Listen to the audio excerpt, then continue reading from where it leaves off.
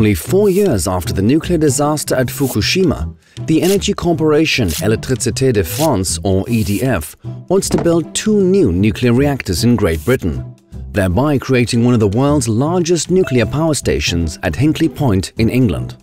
However, this project can be financed only through massive subsidies. That's why EDF got the British government to give a guarantee of over 21 billion euros for its construction.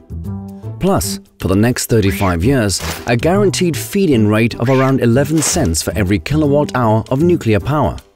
Plus, adjustment for inflation. According to calculations by the Financial Times, this will equal about 35 cents in the final support year. By comparison, a large solar power plant in Germany earns barely 9 cents these days. This is a clear violation of EU competition law, as the British government well knows. For this reason, it applied to the EU Commission for an exception. At first, the reaction in Brussels was troubled. The Energy Commissioner at the time, Gunther Oettinger, even called the financial benefits Soviet-like. And yet, after some negotiations, in its second-to-last session, the then officiating EU Commission suddenly gave approval for financial aid for nuclear power after all. This decision throws the door wide open for the construction of new nuclear power stations in Europe. Sebastian Sladek of Elektrizitätswerke Schönau is determined to prevent this.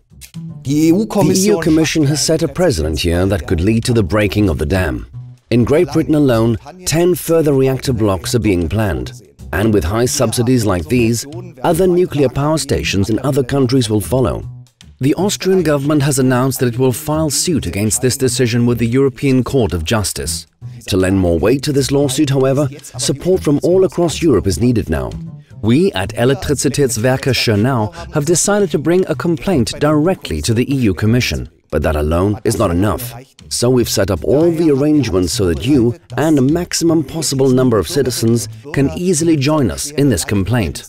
Please, everyone, I invite you to join in. Support our campaign and help us stop new nuclear power stations from being built in Europe. Every European citizen has the right to file an official complaint against this decision. But only if the pressure from the citizens becomes greater than the influence of nuclear lobbyists will we be able to bring the newly appointed EU Commission to revoke this bad decision.